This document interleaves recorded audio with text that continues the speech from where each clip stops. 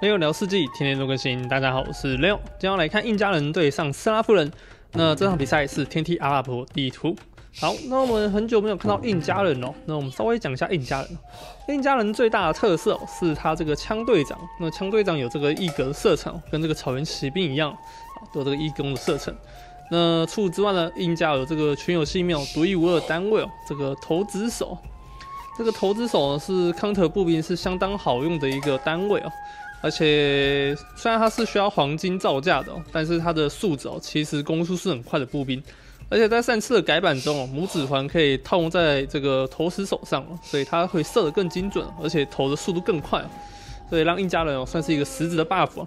那再来就是城堡时代的时候，兵工厂的科技哦，进攻跟进防哦，可以提升到给这个村民身上，所以村民的攻击跟防御率会稍微偏高一点。那这个能力以前是在封建时代就有了，所以以前印加的封建快攻哦，这个封建塔攻是超级强势的。啊，这个村民跟基本上跟他硬打，你的村民是打不赢的。那塔攻就一直入侵进来，会作死哦，让人家很难防守下来。那印加人这点我被改过了，变成城堡时代才有 buff，所以这个效果没那么明显。那再就是它的房子哦，每一栋可以加死人口，所以它前期可以省下一些木头去做一个撒农田动作。好，那我们来看一下对手，对手是斯拉夫人。那斯拉夫人的话，也是一个采肉文明哦，非常强势的文明。那它跟波兰、跟高棉哦，还有斯拉夫啊，这三国文明哦，都是采肉速度超级快的文明。那我心目中哦，斯拉夫是排排行第二，那第一还是波兰。呃，主要斯拉夫呢，这个农田哦，效率十 percent 哦，也着实蛮夸张的。那让他的所有的单位哦，可以吃到这个食物的加成，因为很多科技都是需要食用到食物的，例如投石车啊，或者是这个怪族铁骑哦，或者是王者侍从，或者是剑勇哦，这些都是非常吃肉的一个科技。那斯拉夫人这个科技能力哦，就很有这个 buff 感了。好，那沙夫人还有这个螺丝堡垒哦，这个螺丝堡垒我们之前的影片也有介绍过，哇，到处插宝啊，把这个整个土空下来，哦，这也是斯拉夫的拿手好戏。好，那我们就来稍微看一下两边会怎么做一个什么样的选择。那这边我们先稍微看一下两边的一个地图，哎，这边沙夫果子在后面哦，相当舒服，而且连同这个伐木区哦。所以沙夫前期应该没什么太大意外啊，可以过得很舒服。那金矿的话是在前面这里啊，可能稍微有点危险。但是以印加这个文明来说，他要打一个前期快攻是比较困难的，因为印加本身是三个南美洲的文明老英国里面哦是没有经济加成的，所以印加人来说要报老鹰报的话算是偏困难。比起玛雅跟阿兹特克来说的话，印加算是偏困难的。比较不适合这个老鹰豹的战术，很容易被挡下来，所以应该沙夫这边前期会有点优势哦。那中后期就不太一定了，因为中后期印加人算是南美洲文明文明里面哦，后期爆发力最强的。我个人觉得是这样子。啊啊，大家大家可能有心目中最强什么玛雅老鹰啊，或者是啊，或者是暴龙是棒棒之类的。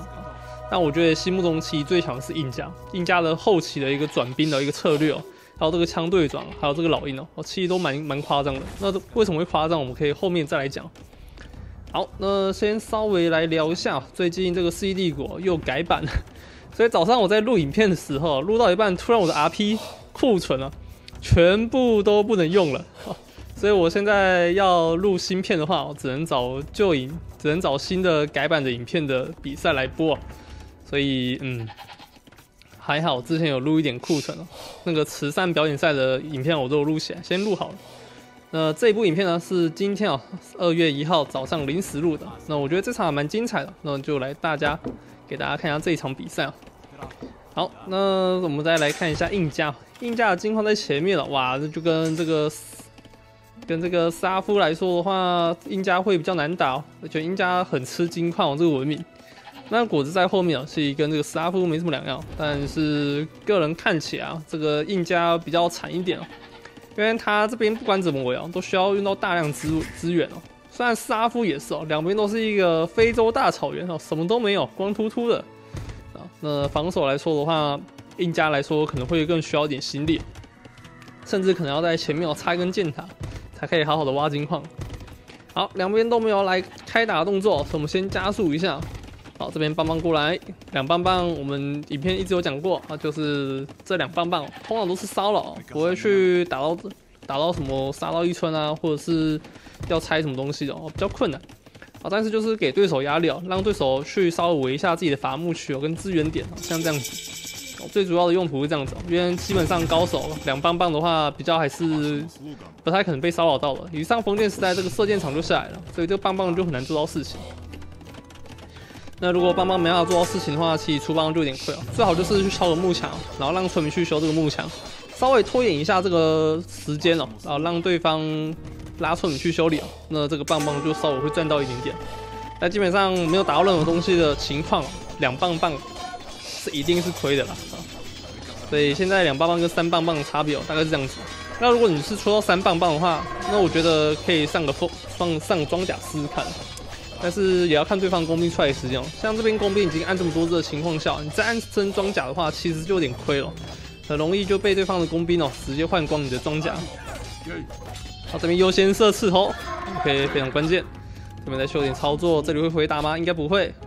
这边可能还会再被换掉一只棒棒吗？哇，这边再换一只就有点亏了。好，哇，突然停下来。哇，最后一只也不想动了，是不是？好，看起来是这样子啊。好，印家这边有没有秀操作？好，放这只民兵一条生路。好，那金矿部分哦，开始在挖了，那点下了这个兵工厂。那现在的 meta 好像都是会主要先撒田，大概撒了快一圈的时候就会下这个兵工厂啊。但是我还是看有些高手的顺序不太一样啊。但我觉得像他这样子会比较好一点哦，比较稳定哦。不然有一些职业玩家他们都下的很早，然后肉都用的超极限了啊，不像一家现在印家这边肉这么多。虽然我觉得这样印加比较好了，但是越极限有它的考量在，越极限的一级色的工兵哦，也是蛮夸张强。好，那斯拉夫这边金矿是围的还蛮安全的，我没想到他是直接拉了一条，直接围死啊。好，那工兵有一级射，有一级射他可以烧这边，但是这边斯拉夫很聪明，把所有村民拉到右侧，这边左边的村民就不会被射到了。啊，这个就是一级射主要的一个重点。增加一点射程才可以骚扰到更多。那目前只有三只工兵啊，工兵也没继续按啊，按到五只而已。那沙夫这边也是按毛病啊，按到大概五只左右。哎哎，这边直接倒地。哎，那这边这个模组看起来蛮漂亮的，这是丢这个竹枪吗？哦，有有点明显。那顺带一提啊，因为今天有改版的关系，所以如果你有装模组的玩家们啊，那记得要再去重新哦。订阅你的模组才会正常的生效，不然它只要每一次一改版哦，这个少数模组啊或者其他模组全部都会失效，然后记得再去模组区哦去打开来，才会继续这个特殊的模组特效。好，这边老鹰可以解决到全部的毛兵吗？这边优先还是想要顶工兵，工兵继续秀操作。哎，残血，被收掉，继续勾进了。好，但是这边这只老鹰有点烦啊。但是还好，一只老鹰的话，其实用毛兵稍微打一下，扛一下伤害，应该还是能轻松收掉的。好，这边稍微溜一下，OK，收掉了。那这时候已经点下了城堡时代了，赢家哦，果然他这边先撒钱，优势就是这样子哦，非常的强大。好，那点下城堡时代的印家，开始要转出自己的老鹰了吗？哇这边下军营哦，双军营，鹰斥候开始点。好一级的鳞甲科技也点了，鳞甲科技点下之后，这些毛兵、工兵哦都会出大事啊！真的只能跑，这边再打下去可能会出事。如果是我的话，我就直接回家了，我就不会想要在前面嘻嘻哈哈了。这个被抓掉很亏啊！虽然虽然单位不是很多，但我是那种一点兵都不想送那种玩家，这也是可能是我的弱点。因为 CD 国最要最重要的东西就是骚扰，那我常常就是没办法做到骚扰这件事情。好啊！结果这边露头，露头没有攻击，反正看到双军营，啊！结果老鹰上去追了，啊！果然出事啊！呗，都过完年了，又要出事了，完蛋！老鹰追上去，这一坨工兵可能也是要打大霉了。好，斯拉夫这边补下平走，看起来是要打骑兵路线了。那骑兵的话，确实也很好抵抗这个老鹰呢。那老鹰这边要注意的是哦，斯拉夫不能出修道院哦，去招降对方的老鹰。因为其实老鹰是打僧侣额外伤害的，而且还有抗招降能力哦，所以很容易哦，你招一招老鹰了，然后自己老头就被戳死了，这可能性反而是偏高一点。哇！结果我们刚才刚说城堡时代印加老鹰豹不太强，结果他现在就老鹰豹了，成出老鹰豹。那为什么成出老鹰豹会这么强？这个也是算是南美洲国的一个特色。这边老鹰的造价很便宜，只要二十肉的样子，然后黄金五十，啊，你就可以一直疯狂的去按这个老鹰出来，只要金挖的够多，老鹰就可以一直按一直爽。但最大的缺点啊，就是这个防御率啊还是偏弱，啊，毕竟老鹰是零防单位啊，但是它远防很高，取而代之是远防超高。那基本上只要出骑士哦，堵个口，像他这样子，应该是能守住的。这个就是老鹰豹的一个。初期的一个小小缺点哦，哦，尽量哦不要跟对方直接硬打，等到这个量够大，有开阔地形的时候，老鹰的威力才显现出来。那目前像他这样打的话，其实有点小小的尴尬，因为前面送了一波之后数量减少，然后第四又送第二波，哦，虽然工兵全倒了，老鹰也死的差不多了，两边都在互相伤害哦，这波打的很不错，啊，鹰家这边听筒完全没有赚到，哇，本来。因刺吼，这个单位层出是很强势的，像被他打的有点被动的感觉。哎，这个是我回头就打了两只老鹰追三只骑士，是什么成何体统的画面，对不对？回头收一下，OK，轻轻松松。看这个骑士血量也没掉多少，但基本骑士防御还是很高，就四攻哦四防。你看这个老鹰攻击力基本上其实不高的，这是七加一而已啊。等一下二级一攻的话就是七加二九攻。抽一下才五滴哦，那刚刚还没有二攻的关系哦，所以抽一下只有四滴，所以骑士有打品种的骑士根本是装养啊！啊，斯拉夫文今天开始拿下自己的农田优势哦，十 percent 的农田的效率啊，就是这么夸张。那这边赶快把这个黄金哦改一个 TC 哦防一下，不然待会老鹰再来的话会很会很麻烦。好，那这边印加可以出一点僧侣了，开始可以去下修道院。了。哦，这边下修道院的话，比下这个长廊兵哦更好一点，因为这个修修道院的僧侣是有射程，那现在硬架一个射程单位都没有，刚刚工兵都送光了，我最后赶快下，OK 这边有下。了，那只要基本一下的话，周围的地方哦，只要把僧侣哦放在这种 TC 附近哦，上面这个部分就不用太担心被骚扰到了，啊，还有前线这个主金的位置，所以他这个修道院下这个位置我觉得蛮 OK 的。好，两边可能要进入开农模式，我们再稍微加速一下。好，斯拉夫也点下轮走了，那印加这边还没有点，但是因为他这边是要维持三 T 是运转的关系啊，所以轮走先不点是合情合理。哇，这边是下双修道院，双修道院的话就有点，我觉得有点有点过头。我个人是喜欢单修道院的。可能这边是想要上这个神圣思想，所以才下这个双修道院。然后先按僧侣哦。那神圣思想这个科技呢，可以增加僧侣的十五滴血量，可以让他来到四十五滴血。啊，呃，增加血量的用处主要是可以多多坦一下这个骑士一刀，然后增加这个招降的几率。那这边出一减银机的话，可能也比较安心一点。如果遇到单只骑士的话，可能还有救。哦，遇到两只以上，虽然还是已经没救了。但至少有可能可以招到一只哦，这就是神圣思想比较厉害的地方。那这边圣女安太多了吧？哇，这里圣女哎一直按一直爽哎。好，但斯拉夫这边已经准备工程器了。那顺带一提，斯拉夫的工程器有这个十五%减免了，所以基本上不出工兵哦，只出头车跟弩炮是比较适合一点。好，这边看到大量圣女走了出来，直接撤退。这里绝对不能开战了。OK，这边得下神圣思想。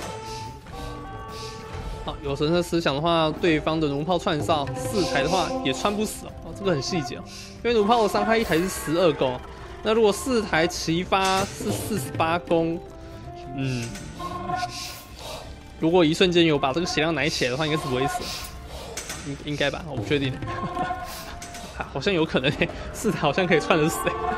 我刚想说三台的话，应该是绝对串不死。但是想一想，他这个瞬发能力，如果同时齐发，哦，好像有机会哈，其实是有机会可以串死的。虽然僧侣也是会补血，但是我觉得不太有可能可以马上把这个血量抬起来。你看这个生理补血还是需要点时间哦。好，慢慢补了起来。OK，残血的胜率也拉起来。好，这边点下了二级弓，那鹰有四也升级了，升好鹰有四了。鹰有四升级好之后，血量稍微多一点哦，拿再多一点远防，但近防一样悲剧啊。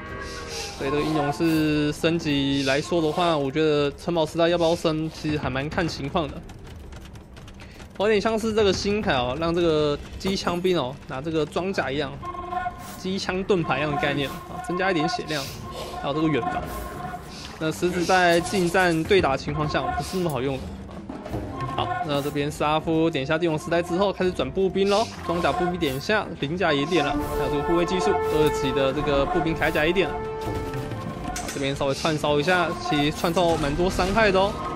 但是这边步兵 A 上来，弩炮也是只能穿雷弹。这边僧侣给的压力很大，不敢直接硬上，毕竟这边长兵多，而且还有僧侣哦。如果直接被招个五只骑士走，剩下都被长兵解决的话，斯拉夫前线会直接溃败哦。那最好就是用这个奇变机动性去跟对方周旋哦，不要直接打正面哦。毕竟你只要兵在哦，对方就有压力了。你一没有兵，对方就没压力哦，对方就会前压你家，就会非常危险。所以其实玩这种 R T S 游戏哦，有一部分的层面都是这种心理战术。其实对方也知道你打不赢他，但是一直没有抓到这头兵哦，对手还是会有点压力在哦，没办法很放心的去直接前压，就是这个原因啊。这个有这个这种心理状况，尤其是在星海争霸更为明显了。世纪帝国可能还好，毕竟可能家里有城堡啊，或者是 T C 联防。哦防守效果可能还是不错的，不会直接一瞬就爆开啊。但是在星海里面哦，这个效果就更加明显。好，这边直接招降了，哇靠，招了五只骑士。好，这边有个细节，轻骑兵全部直接上来硬砍僧侣。轻骑兵有升级的关系，只要三刀就可以收掉一只僧侣。但是这边后后面长兵非常数量非常多，直接抽掉了几只轻骑兵。但轻骑兵这边没控好，又要再回去送了一波。好，应该可以收到蛮多的轻骑兵，但是长征兵也走了出来。长征兵砍这些长征兵效果非常好，哇！直接被砍到残血，长枪兵有点亏啊。这边骑士去家里骚扰，倒了非常多的骑士哦，有点亏。沙夫整体而言，我觉得没有到赚哦，反正是有点小亏哦这一波哦，毕竟被招了五只骑士哦，胜率也没有完全收掉。那也是印加这边哦，长枪兵这个配兵配得好，前线配一些，然后后方哦再配一些拉回去防守。好这边看起来要对付这些双手剑兵有点困难喽。这双手剑兵现在想砍谁就砍谁，可以砍骑士，也可以砍长枪兵哦，也可以砍老鹰。好，当然是最关键的投石手出来了。投石手可以对这个双手剑兵造成大量伤害哦，而且现在又有拇指环的版本下，这个好，好，这边直接开战，哇，这边但是有个细节。双手剑兵直接上高地开砍，血量掉的非常快速。但是左边的双手剑兵数量比较少，而且后面有投石手，这边还被招了几只双手剑兵走了。但是长剑兵打倒数量非常多，但这个时间点看起来是还没有下王者侍从，伤害就这么高了。好，如果待会再下这个王者侍从，是不是更夸张？哎，他好像有下，是不是？好像有点王者侍从，看到有点扩散伤害的感觉。还是是我错觉？这个践踏伤害跟这个扩散伤害有点，有时候看不太出来。好，三级能天点一下大罗马，可以还有三级铠甲。这时候两台巨型投石机，开始在砸。然后方啊，投石手数量也是越来越多，而且这边还升级了三级的板甲跟骑兵的升级啊，还是稍微会仿效对方大落马。好，但投石手打这些双手剑兵效果非常好。那现在投石手最害怕就是骑兵单位哦，但是这边印家人早就已经想好了。那现在投石手五双，那你这边出落马，跟我做对抗的。但这边还是有上来贴到一下，五这边打这个投石手伤害是很高。虽然双手剑兵已经全部送差不多了，这边没有足够资源可以点剑勇。这边先把自己经济先拉起来，手推车三级农三级木点下，二级弓你慢慢补。这个城堡能盖起来吗？哎，可以，不错。这个城堡能盖起来的话，对斯拉夫这边很赚。可以再苟个十几年，没有什么问题。这边可能赶快跑，会倒会倒很多只僧侣哦。大罗马过来，好，几色补下。这边二级色补应该是要增加城堡射程，应该不是要转弩兵或者战矛兵啊，毕竟比较亏。毕竟工兵系没有三级色是非常难用的。那斯拉夫就是没有三级色的文明。好，这边点下三级弓，好，这个锻造技术点一下之后，落马这个剑勇伤害都会非常夸张。好，看这波进去能打到点东西吗？哎，好像不错哦。后面的附近的状况，好被骚扰到。这边骑兵第一时间只有拉了少量几只过来防守，但后方的一个经济状况还是着实被砍到了一些村民，村民开始下葬。看到剩一百二十三村左右，但正面这个城堡互相投掷，但城堡来不及修回来，还是直接垮了。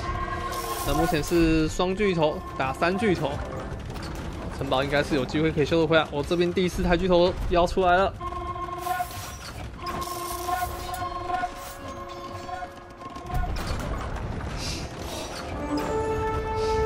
呜哦，边砸的很稳。好但是有村民在修，应该巨头不会有事哦。好，但是这边正面又要去开战，后面投资手来输出，但投资手打这个落马效果没那么好。沙夫落马远防是六，投资手攻击也是六，所以打落马只有一滴血。但打剑勇的伤害就不一样了，打剑勇的话血量可是爆的。但这个投石手叫投石手，但它需要黄金才可以生产，都让我以为他是丢黄金在攻击对手。头金手听起来更更猛。好，这边单刀学点一下，哇，还点一下工兵皮甲，该不要转战矛了吧？哇，这看起来就是哦，化学也点了，那肯定是转战矛。果然，战矛开始按了。这边骑兵有点难打，因为毕竟你现在用双手剑兵去打，后面投石手输出太痛了。剑兵没砍几下就倒了，啊，这个骑兵没法处理掉，正面就永远打不赢了。那沙夫这边最好赶快再用几只肉马去骚扰对方家里了，毕竟这边最首要攻坚这个城堡还是需要点时间哦，用肉马去换点时间哦，生存时间是不错的。好，沙夫这边点下化学战矛兵，兵家这边一级掘金、二级掘金点了，一级挖死一点了。